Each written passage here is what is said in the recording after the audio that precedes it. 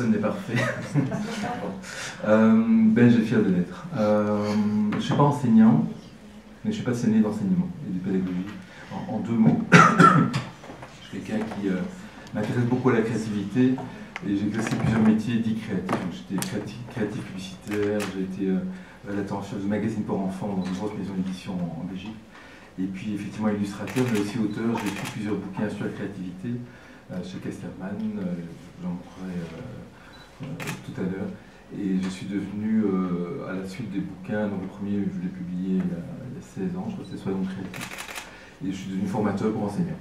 Voilà. je prends toute une palette de formation pour les enseignants, surtout fondamentale parce que c'est à cet âge-là que la créativité se perd. Alors toi, tu l'as très bien expliqué, il y a quelque chose d'intérêt dans le développement de l'enfant qui fait que euh, une notion d'intelligence et l'esprit logique vient, entrer un peu en, conflit, en concurrence avec la, créativité qui va céder la place à un certain âge. Mais euh, je crois que c'est à cet âge-là, justement, dans, le maternel et dans le primaire, qu'on peut valoriser ce, moteur essentiel chez tout individu qui est, cette créativité, euh, moteur dont il a absolument besoin dans un monde en mouvement euh, où les machines de plus en plus prennent les, métiers des êtres humains. Euh, ceci n'est pas une leçon, référence à mon compatriote Feu René, Magritte de son nom. Euh, c'est pas une leçon parce que ce sera en partie une intervention interactive. Petite histoire, cette œuvre s'appelle Le faux miroir. Le faux miroir. On va parler de créativité sous trois angles. Je me suis demandé, euh, au fond, euh, ben, comment intervenir en 20 minutes sur un sujet sur lequel je passe parfois 3, 4, 5 jours. J'ai décidé de prendre un angle qui est celui de l'art, parce que je m'intéresse beaucoup à l'art. J'ai également écrit un bouquin là-dessus. Et je me suis dit, tiens, en prenant cet angle de l'art à l'école, euh, pourrait-on se poser trois questions? Ici, la créativité était une question d'abord de posture, de perception en fait? Ici, c'était une question de consigne, euh, et ici, c'était une question de processus? Voilà, dans des ordres, mais euh, on va aborder donc ces trois points. vous avez 10 secondes pour vous mettre par deux. Allez-y. Il reste 8 secondes. Vous pouvez bouger, vous faites votre chaise, etc. 5 secondes. Si vous n'êtes pas par deux, vous allez regretter parce que vous allez faire un jeu très rigolo, très amusant, qui va vous permettre d'expérimenter. Euh, voilà, ça y est, là, vous là, c'est fait. Ok, euh, de, de, de m'y tout seul. Euh, je suis très pour vous. Euh, qui est-ce pourrait y aller? Euh, Peut-être avec vous. Hein, Qu'est-ce que vous en direz? Ça vous va On sent que vous forcer la main. okay. Alors, euh, vous allez également choisir dans votre fort intérieur un chiffre de 1 à 6. Alors dites-le à l'autre quand même, pour que vous ne choisissiez pas le même chiffre, ce serait dommage. Donc, euh, le chiffre que vous avez choisi de 1 à 6. Vous avez trouvé un partenaire? Vous allez vous rapprocher, sinon ça va être un peu compliqué de utiliser un, un mégaphone pour vous parler. Je, suis militaire de réserve, c'est le Bon, c'est fait. Vous êtes prêts Voici une œuvre de René, encore une. Et selon le chiffre que vous avez choisi, vous allez regarder cette œuvre avec euh, une question particulière. Et vous allez euh, d'abord, je vous laisserai 30 euh, secondes pour réfléchir à ce que, comment cette question résonne en vous, et puis vous allez partager à votre voisin, votre voisine, ce que ça évoque pour vous. Il n'y a pas de bonne ou de mauvaise réponse, évidemment, et il ne s'agit pas d'entrer dans une discussion. Si l'autre commence à parler et vous dit Ah, c'est marrant que tu vois ça ou que vous voyez ça, moi je vois tout autre chose, donc ça, je vous demande de vous taire et d'écouter l'autre. Et puis quand sera votre tour, vous pourrez donner votre réponse par rapport à votre question. C'est parti. Je vous laisse signal, je, vais vous laisser une, minute et demie, deux minutes chacun. Voilà, elles sont numérotées de 1 à 6 et je me retire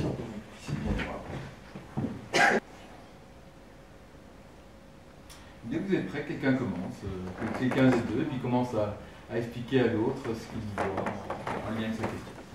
Voilà mouvement.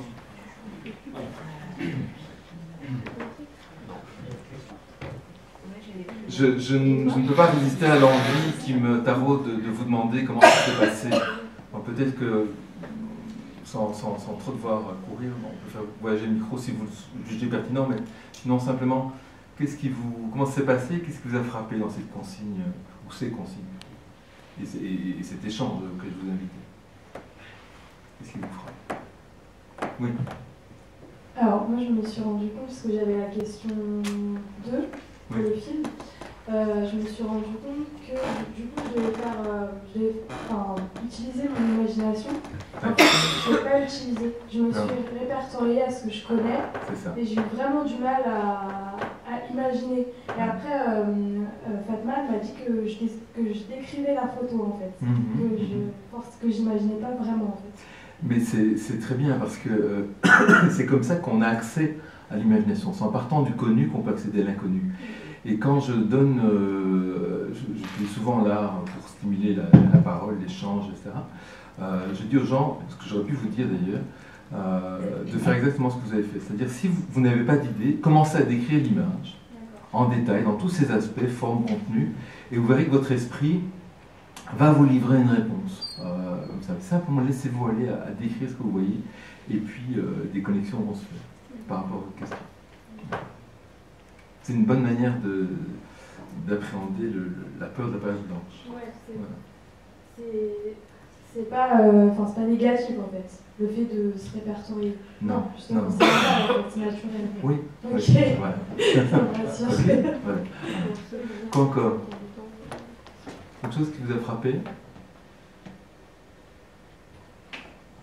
Non? Alors, ces questions, on pourra en poser plein. je, fais souvent avec euh, des groupes d'enfants, je dispose, euh, je dirais, une centaine d'œuvres d'art. Si j'ai un groupe de 20 personnes, j'en ai exprès beaucoup. Je demande à chacun de choisir une œuvre, de, se laisser choisir par une, par une œuvre plutôt. C'est un processus intuitif. Et puis, euh, au mur, j'ai mis 40 questions comme ça ils vont par deux et ils voyagent d'image, euh, de, ils ont chacun l'image en main, ils voyagent de, questions en question, de consigne en consigne. Et ce qui me frappe vraiment, c'est que non seulement, je crois que le temps était trop court pour vous, pour que vous puissiez vraiment l'expérimenter, mais au gré des consignes qui se succèdent, et malgré qu'ils aient toujours la même image en main, leur regard s'approfondit d'une manière extraordinaire. Alors que très souvent, quand on regarde une image, c'est euh, j'aime, j'aime pas je reconnais. Ah oui, c'est un Magritte. Oui, peinture réaliste, puis on sort ce qu'on connaît. Bon, alors qu'est-ce qu'il y a encore ici? On ne regarde pas en fait. On ne va pas au-delà ni de l'appréciation ni, ni, de la connaissance. Et là, on entre vraiment en, observation en faisant fi de la connaissance, justement. En faisant fi de l'appréciation j'aime, j'aime pas. On entre en observation profonde de l'œuvre et on entre profondément en relation avec euh, l'autre. L'œuvre devenant un médiateur. Il ne s'agit plus d'analyser une œuvre, mais de, d'entrer en relation devant elle. J'insiste peut-être lourdement, mais pour moi c'est magnifique, parce que ça, sort, ça casse un paradigme. Un paradigme qui est que ben, l'individu doit apprendre tout seul devant l'objet de son étude. Et, dans un monde où on dit, euh, les deux intervenants précédents l'ont répété, qu'il faut favoriser la collaboration, etc., mais favoriser des processus pédagogiques où on va créer du lien, euh, de, la relation et, donc de, la diversité de points de vue, c'est tout gagné, je trouve. Sur cette histoire de perception, quelques petites choses à dire. Une œuvre d'art n'est pas un objet à analyser, mais, et je paraphrase ici le directeur de l'école de loisirs, maison d'édition que vous connaissez certainement, il disait un livre, on peut dire la même chose d'une œuvre d'art, c'est un miroir, une fenêtre, un porte-voix. Un miroir parce qu'on peut s'y reconnaître, on peut retrouver une partie de, de qui on est, elle peut nous ressembler d'une manière ou d'une autre. Une fenêtre parce que un livre comme une œuvre d'art nous ouvre à ce que nous ne sommes pas et nous ouvre un champ euh, de ce que nous pourrions être, de ce que nous aimerions être. Peut-être nous ne serons jamais, mais Gianni Rodari, qui a écrit ce magnifique livre La grammaire de l'imagination, disait très bien pour se connaître, il faut pouvoir s'imaginer. Ce n'est pas l'imaginaire qu'un enfant se construit. Un enfant des banlieues euh, qui, euh, pour toutes sortes de raisons, aurait un départ d'un vie difficile, ne fût-ce qu'au niveau économique, peut-être au niveau social, affectif, etc., s'il n'avait pas l'imaginaire, comment pourrait-il grandir intérieurement à se dire que pour lui, oui, c'est possible d'échapper à sa condition, en tout cas d'être autre que ce, que ce à quoi les, adultes autour de lui le destinent? Et puis c'est un porte-voix parce que ben, l'image permet de mettre euh, une forme à ce qui est indicible. Picasso disait très justement, si j'avais pu le dire, je ne serais pas fatigué à le peindre. Dans une école où le langage verbal prédomine, l'image peut jouer ce rôle-là aussi, d'être le porte-voix de, euh, de ce qui ne se dit pas et peut-être des personnes qui ben, sont peut-être en mal de langage. Parce que le langage est un facteur discriminant social extraordinaire. Ceux qui parlent bien, aisément, ben, ils bien dans la vie, ils feront passer un entretien d'embauche, etc. Ceux qui font des fautes de français à chaque phrase, euh, avec un accent, etc., c'est plus compliqué. Encore une citation, l'esprit, disait Magritte, aime l'inconnu, il aime les images dont le sens est inconnu, car le sens de l'esprit lui-même est inconnu. On parlait de complexité tout à l'heure. Catalina en parlait. Face à un monde de plus en plus complexe, comment appréhender le complexe? Si ce n'est justement avec nuance, avec euh, capacité de percevoir les paradoxes. D'où une des questions, hein, quelles sont les oppositions que vous voyez dans l'image? Hein? euh, Il y a une manière de regarder l'art que je vois se manifester chaque fois que je vais dans un musée, que ce soit par les visiteurs eux-mêmes ou par les guides ou même les audio-guides, hein, on vous donne à connaître.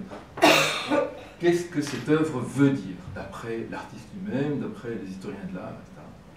Et parfois, c'est très intéressant, mais on vous donne une interprétation. C'est ça qu'il y a lieu de voir et de comprendre dans le Puis il y a une autre manière de voir, qui n'est ni meilleure ni moins bonne, mais qui est autre et qu'on oublie souvent qui est une manière de voir plutôt créative, qui dirait ben, qu'est-ce que cette œuvre me dit à moi? Et là, il n'y a pas une interprétation, mais il y en a autant que d'individus, et autant encore pour un individu que celles qui lui viendront un jour, et puis le lendemain, et puis euh, encore une soirée. De sorte que, à gauche, vous voyez que la source de l'information, elle est externe, et celui qui la reçoit, ben, c'est un vase vide, hein, le modèle d'apprentissage du vase, et ici, c'est l'inverse. Le savoir, il est interne. On considère qu'il est déjà chez l'individu qui a une sagesse, qui a, une connaissance, mais qu'il s'agit de faire émerger. Et comment la faire émerger? Toujours en restant sur cette histoire d'image, vous vous rappelez, c'est un prisme particulier que j'ai choisi pour parler de pédagogie au sens large. On peut, face à une image, vraiment euh, se lancer dans une grammaire qui opérerait en trois temps. D'abord, qu'est-ce que je vois? Ensuite, qu'est-ce que je pense? Et puis, qu'est-ce que je ressens? Je dis ensuite, mais en fait, il n'y a pas d'ordre. En tout cas, ce qui est intéressant, c'est de séparer les trois. Alors que souvent dans le discours, les trois se mélangent. On va dire euh, Ah oui, j'adore cette œuvre, euh, ah, ça, me fait. Euh, moi, ça me fait rêver, et puis. ouais, ouais, c'est, ce rocher, ce château. Et dans, une même phrase, ben, j'ai mélangé trois niveaux. Et c'est important de pouvoir distinguer face à toute situation dans la vie ce qui est de l'ordre de l'objectivité, de l'explicite, et puis ce qui est de l'ordre de, la subjectivité, de l'implicite de l'ordre de la pensée et de l'émotion, du sentiment.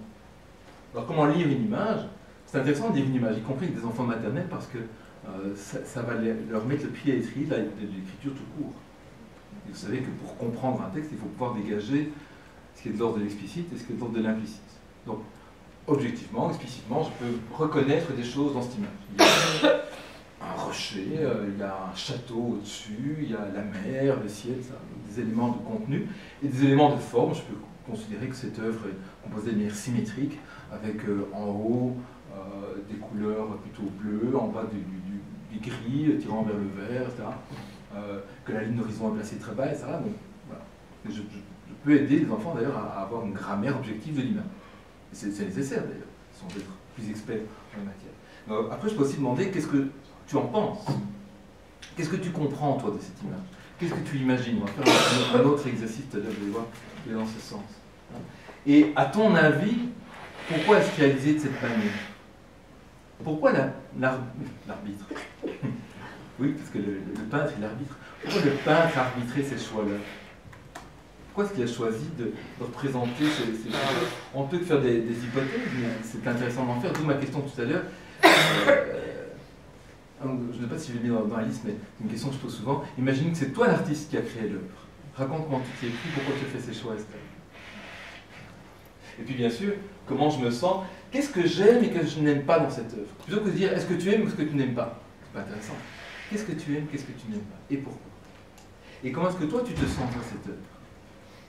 Et là, on voit qu'on peut pratiquer la différenciation parce qu'à toutes ces questions, chaque enfant, chaque ado, chaque adulte peut trouver des réponses qui lui seront personnelles.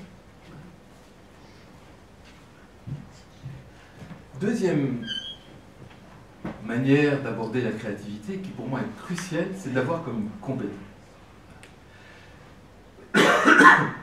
Et non seulement comme une compétence, mais comme un faisceau de compétences qu'on peut construire en structurant un cours, une séquence d'apprentissage avec des étapes particulières. Je donner un autre exercice que je fais souvent qui s'inspire des tests de créativité de Torrance, qui est un Américain qui, dans les années 70, a euh, conçu des tests de créativité. Un de ces tests consiste à inventer une histoire au départ d'une image. Première chose que je vais vous demander, qu'est-ce que vous voyez? Je vous écoute. Qu'est-ce que vous voyez? Une pluie d'hommes. Une pluie d'hommes. Et donc, dans votre euh, locution nominale qu'on dit, je crois, de quatre mots, une pluie d'hommes, il y a déjà un mélange d'objectivité et de subjectivité. Des hommes, je crois qu'on peut, sans trop en douter, dire ce sont des hommes. Mais une pluie, ça, doute. Parce que peut-être qu'ils tombent, mais peut-être qu'ils sont en train de monter. Peut-être qu'il y avait un homme au milieu, puis qu'il a éclaté en plein d'hommes. Peut-être qu'ils sont sur place et qu'ils sont en train de tourner. D'accord? Peut-être qu'ils sont en train de passer. Peut-être qu'un acteur de fond plutôt derrière. Donc, qu'on pourrait faire, on ne va pas le faire maintenant, mais on pourrait appliquer à cette image la grille de lecture qu'on a, qu'on a, qu'on a appliquée. Qu'est-ce que je vois, qu'est-ce que je sens et qu'est-ce que je ressens. D'accord? Pour apprendre à distinguer. C'est pas ça qu'on va jouer. Puisqu'il s'agit d'inventer une histoire au départ de l'image, et pour sortir de la pensée immédiate qui nous dira Ah bah oui, c'est facile, c'est une pluie d'hommes, on va questionner nos croyances. Et rien de tel que de poser des questions pour se mettre en mouvement créatif. Hein. La première chose que je vais donc demander, c'est quelles sont les questions que vous pourriez poser au départ de cette image, et dont la réponse n'est pas dans l'image? Je vous écoute. Deux, trois exemples. Une question ouverte. Une question posée à soi-même Oui, vous posez là à la ronde. Une question euh, à laquelle l'image ne donne pas de réponse. Ce serait quoi, par exemple? Il y a combien d'étages à l'immeuble? Il y a combien d'étages à l'immeuble? Ok. Puisqu'on n'en voit pas la base. Qu'est-ce que les hommes font là? Qu'est-ce que les hommes font là Pourquoi sont-ils là Pourquoi ils sont en hauteur Pourquoi sont-ils en hauteur et, et, comment d'ailleurs tiennent-ils comme ça Où sont les femmes dirait Patrick. Où sont les hommes Où sont les hommes Où ils sont là Etc. Donc la réponse est tout partout. Non, pour l'instant on ne donne pas de réponse. Justement. On se contente de, de formuler des questions. L'étape suivante, ben, c'est euh, imaginer trois réponses par question. Parce que la première réponse sera peut-être trop évidente. Qu'est-ce que les hommes font là? Juste euh, jouons à ça. Qu'est-ce que les hommes font là? Vous pouvez dire ce que vous voulez. À ce stade, maintenant, vous pouvez vraiment vous lâcher. Qu'est-ce que les hommes font là? Pourquoi est-ce qu'ils sont là? Ils veillent. Ils veillent. Ok, très bien. Quoi encore? Plutôt qu'ils sont envahissants. Ils sont? Envahissants. Hein. Ils sont en, en train d'envahir. Oui. Ils sont en train d'envahir un territoire. Ils veillent, ils sont en train d'envahir un territoire. Et puis, troisième réponse Ils surveillent. Ils surveillent. C'est pas même chose. Ils veillent, ils surveillent. On pourrait faire comme ça chaque, pour chaque question. Cet après-midi, c'est la sieste, donc je ne vais pas trop vous bousculer quand même. Euh, et donc on pose, alors j'ai mis 10, mais ça peut être 7.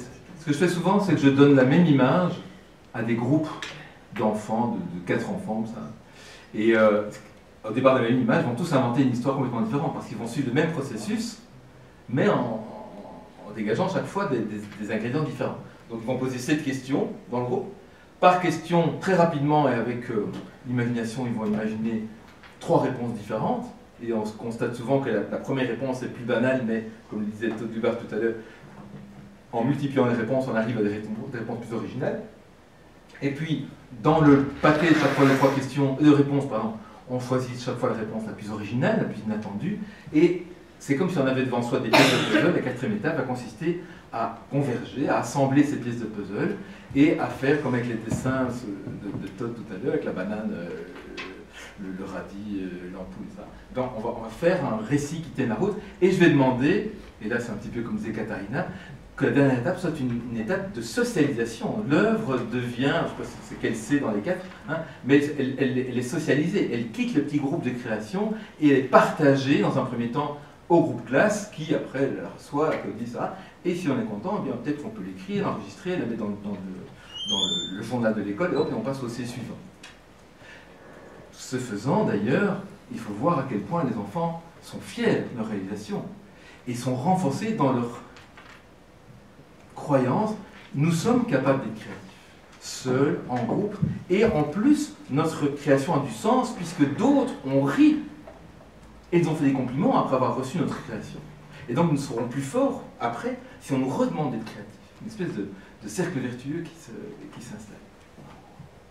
Eh bien, euh, une découverte que j'ai faite au début quand j'ai commencé à, à travailler sur la créativité et la pédagogie, c'est que euh, ces étapes-là, en fait, sont des étapes cruciales dans le processus créatif. Et il y a un, bonhomme, un Américain, qui s'appelle Roger Von Euck, qui a pas mal, s'appelle euh, Von c'est V-O-N-O-E-C-H, qui a beaucoup écrit sur la créativité et qui décrit le processus créatif comme étant la succession, plutôt l'incarnation successive de quatre postures. L'explorateur, l'artiste, le juge et le conquérant. Regardez ce qui s'est passé dans, dans cette invention de l'histoire. Première étape, explorateur. Vous posez des questions, mais en étant naïf, en oubliant ce que vous croyez savoir, en étant le plus naïf possible, posez des questions ouvertes. Deuxième étape, l'artiste, mais c'est dans le sens, c'est pas l'artiste qui crée, qui peint, il ne s'agit pas de ça, c'est la posture du fou du roi, de celui qui ose imaginer des, solutions en grand nombre et sans avoir absolument peur de l'erreur.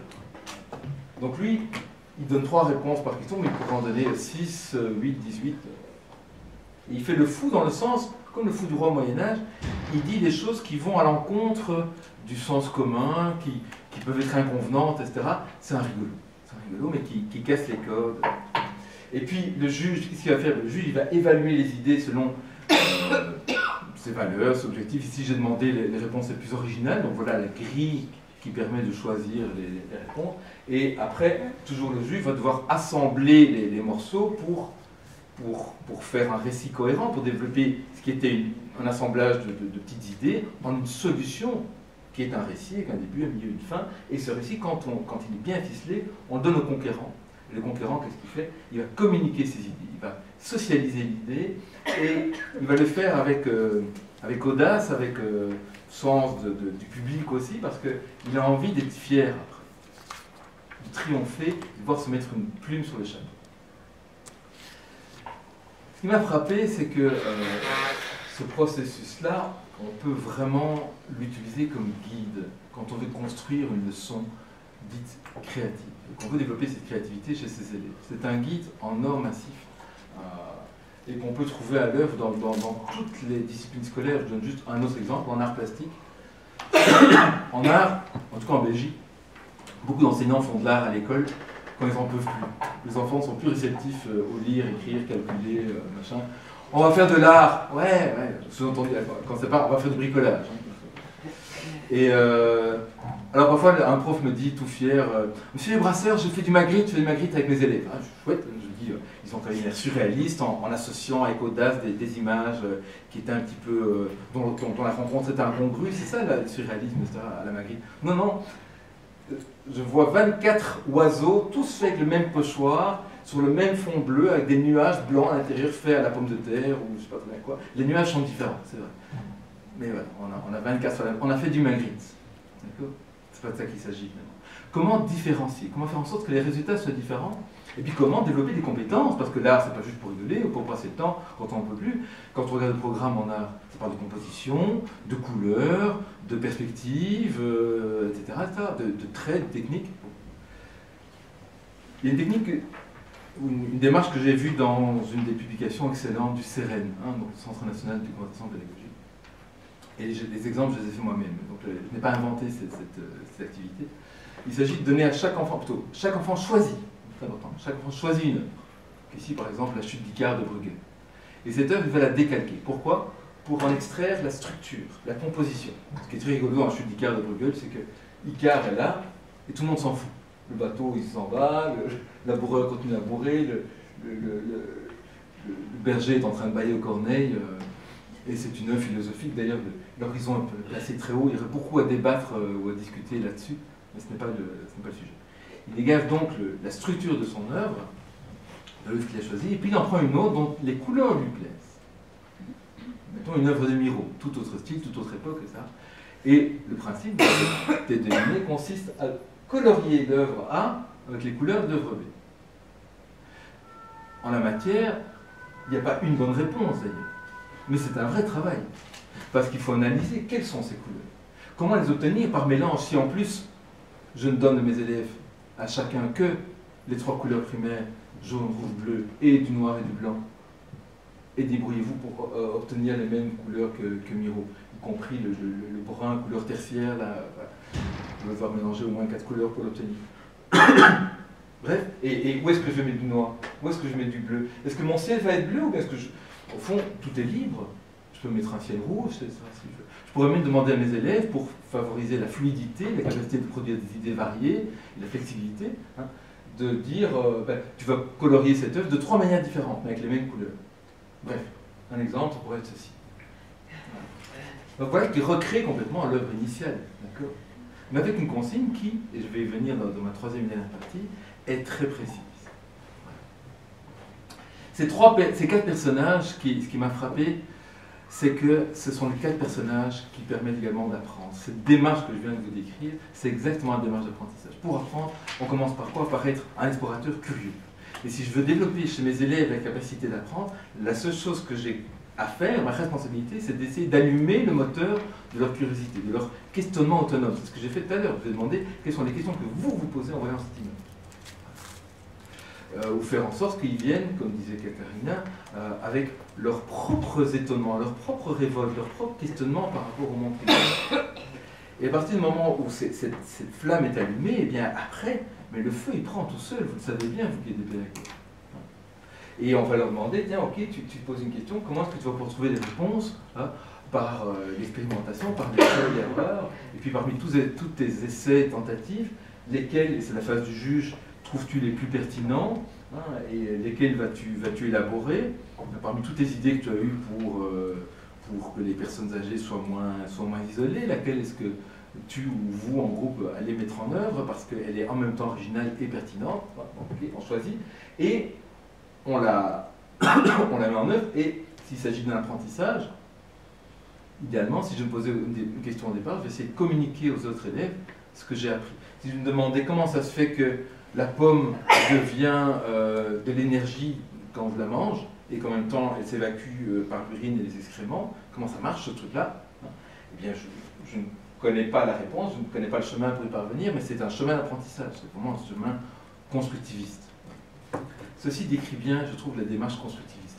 Et je n'ai pas le temps de m'apesantir là-dessus, mais des dix formations que j'ai mises en catalogue euh, pour les enseignants, je reviens toujours là-dessus. Et je suis effaré de voir à quel point ils connaissent peu ce truc mais ce sont les, colonnes vertébrales de l'apprentissage. Et si un enfant, mes enfants, mes, trois grands ont fait des Crowley, le quatrième freinait. Euh, de Crowley, on travaille beaucoup là-dessus, et si les enfants sont capables de, nourrir ça spontanément chez eux, et si l'enseignant le favorise, ils sont capables d'apprendre n'importe quoi. Je termine avec... Euh, oui, et ces compétences sont des compétences... C'est un trésor, ces trucs. C'est un trésor, ça va leur servir pour toute leur vie. Et il y a trois types de compétences. Les compétences instrumentales, ce sont celles que je viens de vous décrire. C'est, en ces mots-là, je ne sais pas si ça rejoint le programme français, mais c'est en ces mots-là que sont décrites les compétences françaises dans le programme euh, belge. Les compétences instrumentales sont les instruments mentaux avec lesquels on apprend, donc vous avez vu, vous pouvez poser des questions très clairement Il y a aussi les compétences intrapersonnelles, connaître son fonctionnement, est-ce que je suis plutôt verbal, visuel, auditif par exemple? Est-ce que je travaille mieux seul ou en groupe? Euh, Est-ce que j'ai besoin de temps ou bien est-ce que moi je vais bien travailler en urgence des compétences interpersonnelles, les capacités de tenir compte de la vie de l'autre, de co-créer, de savoir que euh, mon prisme, ma grille d'étude du monde n'est pas celle de mon voisin. Je termine par cette histoire de consigne. C'est quoi formuler une consigne qui stimule la créativité? Parce que la théorie c'est bien, mais les profs me demandent à juste titre souvent, mais comment je fais pourquoi est-ce que certaines consignes fonctionnent et les enfants sont motivés et produisent des résultats créatifs et d'autres, alors que je croyais que c'était motivant et chouette, la sauce ne prend pas. J'ai trouvé une recette que je vais vous, partager dans un instant.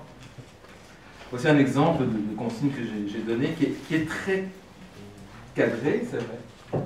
En 15 minutes, et je, le remets, je mets par groupe de 3 et ils reçoivent une œuvre d'art. En 15 minutes, par groupe de trois, tirez une image au hasard et reproduisez-la en photographie le plus fidèlement possible à l'aide du matériel que vous trouverez dans l'école, dans les classes ou dans la cour de récréation. Regardez ce que ça donne. C'est rigolo. C'était des profs en formation, mais on a fait avec des enfants aussi. les époux Arnolfini, revus et corrigés, mais avouez qu'il y a une vraie observation.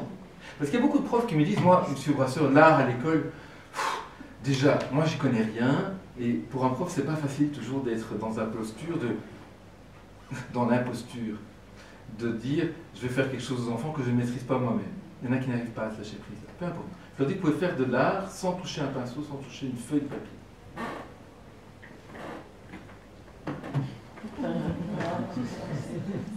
C'est excellent parce que le hasard a fait qu'il y avait des pneus. Mais regardez quelle force ça donne à l'image qu'on connaît trop et qui est complètement revisitée, qui a un sens, une émotion qui, rejaillit vraiment. Je trouve ça magnifique. On appelle ça un heureux hasard.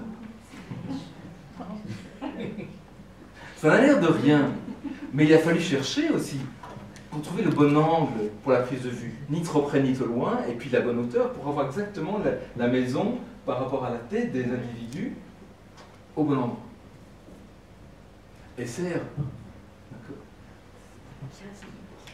Alors ça, j'exagère peut-être, il y a peut-être 20 minutes, mais c'était guère plus que ça. Alors ça, j'adore, regardez. Vous connaissez cette... Je pas tomber dans l'escalier. Il y a un nageur dans la piscine, euh, il a eu du rouleau papier de cabinet pour faire le, le, le, caleçon, et là c'est une piscine de, petits, euh, de petits euh, bouchons en plastique. Bon, très rigolo. Qu'est-ce qui caractérise la consigne qui stimule la créativité? Il y a deux choses. J'ai donné la réponse avant de. un, la liberté. Ça, c'est presque c'est un paradigme de la créativité. On dit bien, le créatif, c'est sortir de la boîte, c'est multiplier les idées, c'est diverger. Oui, donc, la consigne va stimuler la quantité d'idées, la quantité en tout cas de, réponses possibles. Elle va stimuler le hasard. En tout cas, le hasard va être un, ingrédient bienvenu pour ce genre de consigne.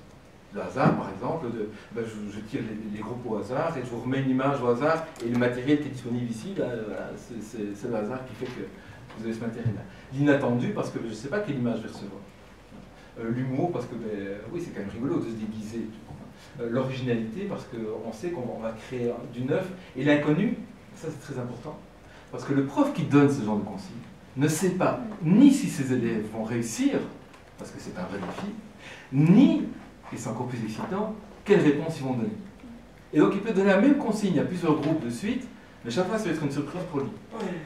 Parce qu'il n'y a rien de pire, je trouve, que donner, et c'est la majorité des profs dans l'école traditionnelle, c'est ça, euh, c'est de poser une question aux élèves et de savoir déjà la réponse qu'on attend. C'est pas rigolo, je trouve. Pour personne. Le deuxième ingrédient essentiel, c'est le cadre. Parce que si vous dites, je, vais remettre ce que je vais photographier, si, je donne aux élèves, euh, aux profs, ou n'importe qui, la consigne, allez-y, euh, voilà du matériel, voilà une de récréation et euh, voilà des appareils photo, eh bien créez-moi des images créatives, soyez, soyez fous, originaux, etc. Qu'est-ce que je vais créer? De l'angoisse. Mais qu'est-ce que vous attendez? Qu'est-ce que vous voulez vraiment? C'est quoi l'objectif? Est-ce qu'on peut faire ceci? Combien de temps on a Comme vous voulez, c'est quand vous êtes prêts. Allez-y, soyez fous là vous êtes encore là, vous sentez moins coincé. Mais enfin, allez, soyez créatifs, enfin. Vous êtes occasion, là.